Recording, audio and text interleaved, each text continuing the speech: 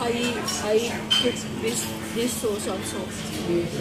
Milk, cheese, and mayonnaise, and black pepper, salt, garlic. Mix. सबको भेजेंगे इधर ना